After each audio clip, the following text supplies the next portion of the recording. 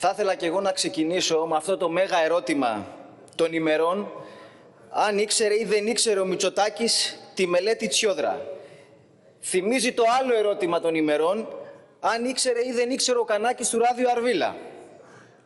Η απάντηση όμως σε αυτό το ερώτημα μικρή σημασία έχει γιατί σε κάθε περίπτωση η ευθύνη είναι τεράστια, γιατί σε κάθε περίπτωση η ευθύνη είναι δεδομένη και γιατί σε κάθε περίπτωση εμείς τουλάχιστον δεν περιμέναμε καμία μελέτη για να κρίνουμε ως ανεκδιήγητες και αχαρακτήριστες τις δηλώσεις του Πρωθυπουργού προημερών ότι είναι το ίδιο πράγμα η διασωλήνωση εντός ή εκτός ΜΕΘ. Για να κρύψει μια εγκληματική πολιτική στον τομέα της υγείας για να κρύψει το γεγονός ότι φέτος έχουμε περισσότερους νεκρούς με εμβόλιο από ότι πέρσι την ίδια περίοδο χωρίς εμβόλιο. Και αναρωτιόμαστε αν υπάρχει μεγαλύτερη υπονόμευση από την, για την αναγκαιότητα του, του εμβολιασμού από αυτό το γεγονός. Και μεγαλύτερη τροφοδότηση όλου του ανορθολογισμού, σκοταδισμού που κι εσείς αξιοποιείτε ως έναν βολικό αντίπαλο. Πριν λίγο έγινε μία αναδρομή στην περσινή συζήτηση του κρατικού προϋπολογισμού. Αν κάνουμε αυτή την αναδρομή πραγματικά, θα δούμε ότι το μοναδικό κόμμα που επιβεβαιώθηκε από τις εξελίξεις ήταν το ΚΚΕ, όπου λέγαμε πέρσι, σε συνθήκες μάλιστα βαθιάς κρίσης, ότι αυτό που θα πρέπει να απασχολεί τους εργαζόμενους και τα λαϊκά στρώματα δεν είναι το αν θα υπάρχει ή όχι ανάπτυξη ή ποιο θα είναι το ύψος της όποιας ανάπτυξης, αλλά θα πρέπει να απασχολεί το ερώτημα ποιος θα ωφεληθεί, ποιος θα κερδίσει και ποιος θα χάσει από αυτήν. Τι έλεγε η κυβέρνηση τότε, ότι θα υπάρχουν υψηλοί δείκτες από τους οποίους θα κερδίσουν όλοι, ότι η κρατική παρέμβαση στην οικονομία με τα χρηματοδοτικά πακέτα θα είναι ωφέλιμη και για το λαό και ότι η λεγόμενη πράσινη μετάβαση θα είναι δίκαιη. Και μεσολάβησε ένας χρόνος και μπορούμε να δούμε σήμερα ποιος έλεγε αλήθεια και ποιος έλεγε ψέματα. Γιατί όλα τα παραπάνω, όλα τα παραπάνω που μεσολάβησαν δείχνουν πιο πραγματικά και αν υπήρχε όφελος για μισθωτούς αυτοαπασχολούμενους συνταξιούχους που όχι μόνο τελικά δεν κέρδισαν αλλά έχασαν και συνεχίζουν να χάνουν. Χάνουν με την κατάσταση που διαμορφώνεται στους εργασιακούς χώρους. Χάνουν με την καθήλωση μισθών και τη φορολιστία. Χάνουν με βάση τις προβλέψεις του ίδιου του κρατικού προϋπολογισμού για τις κοινωνικές δαπάνες, υγεία, παιδεία, πρόνοια, που εν μέσω πανδημίας εμφανίζονται για μια ακόμη χρονιά μειωμένες. Και τα στοιχεία για τη μείωση των δαπανών όσον αφορά τον δημόσιο σύστημα υγείας είναι ενδεικτικά, όχι τα μόνα, τη στιγμή που ο ιδιωτικός τομέας της υγείας όχι μόνο δεν επιτάσσεται για να αξιοποιηθεί στην αντιμετώπιση της πανδημίας, αλλά κερδοσκοπεί πάνω στον ανθρώπινο πόνο και τη ζωή, γιατί όπως μας ενημέρωσε και ο Υπουργός της Υγείας, δεν έχουμε κομμουνισμό για να γίνεται κάτι διαφορετικό. Πάλι καλά δηλαδή που δεν έχουμε κομμουνισμό. Χάνουν από την εκτόξευση του πληθωρισμού τα κύματα των ανατιμήσεων και της ακρίβειας ως αποτέλεσμα της κρατικής παρέμβασης και της επεκτατικής πολιτικής που κάποιοι την είχατε κάνει σημαία σας τα προηγούμενα χρόνια. Και χάνουν από τους φουσκωμένους λογαριασμούς του ρεύματος την ενεργειακή φτώχεια, την εξάρτηση της χώρας από το πανάκριβο φυσικό αέριο και τις ανανεώσιμες πηγές ενέργειας, που δεν είναι φυσικό φαινόμενο, είναι το αποτέλεσμα της πολιτικής που ακολουθήσατε όλα τα προηγούμενα χρόνια όλες οι κυβερνήσεις της απελευθέρωσης της ενέργειας, χάνουν με την ερήμωση ολόκληρων περιοχών την καταστροφή του περιβάλλοντος και ούτω καθεξής.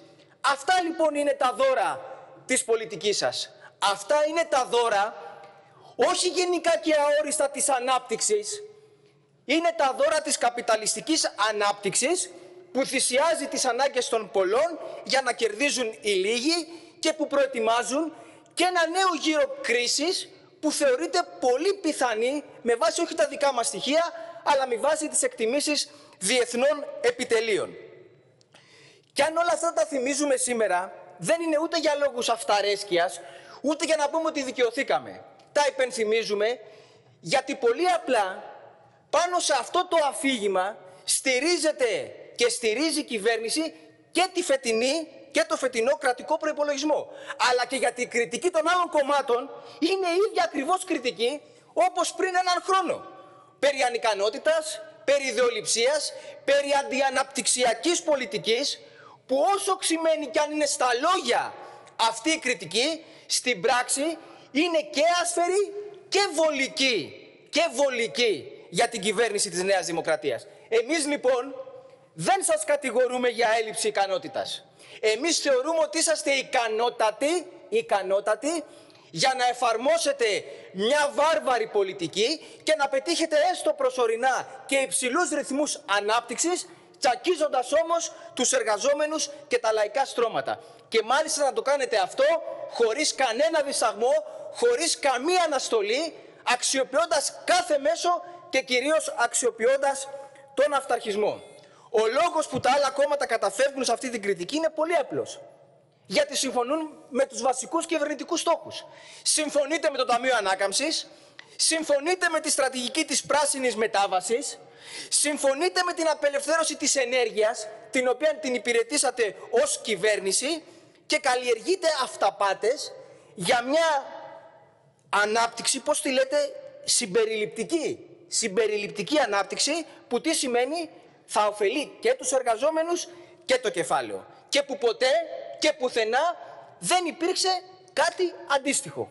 Ούτε εκεί που κυβερνούν οι δεξιές λεγόμενες κυβερνήσεις, ούτε εκεί που κυβερνούν ιδιαίτερα σήμερα οι λεγόμενες προοδευτικές, που όποια ταμπέλα κι αν φορέσουν, προοδευτική συμμαχία, δημοκρατική παράταξη, κρύβεται από πίσω η παλιά γνωστή και αμαρτωλή σοσιαλδημοκρατία. Γιατί εδώ εκτός των άλλων ακούμε και απίστευτα πράγματα, ιδιαίτερα από βουλευτές του ΣΥΡΙΖΑ, ότι συντελείται λέει μια φιλολαϊκή στροφή σε όλη την Ευρώπη και το πρόβλημα είναι μόνο στην Ελλάδα. Μα καλά δεν ξέρετε το πρόγραμμα του σοσιαλδημοκράτη, του νέου καγκελάρου στη Γερμανία.